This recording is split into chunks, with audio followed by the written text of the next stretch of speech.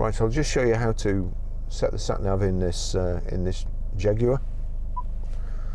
So uh, let's see. From any screen, you can either click nav there, or you've got nav here as well. So onto nav, you've got destination entry at the top left. Click that. Postcode's the easiest. We're Grosvenor Garage, Chorley Road, Whately Preston P. R. Five. Four. J. S. And this is one of the easiest systems because it does show you the numbers rather than having to switch from uh, the alphabet to, to numerals. So there you go, PR5 4JS, OK.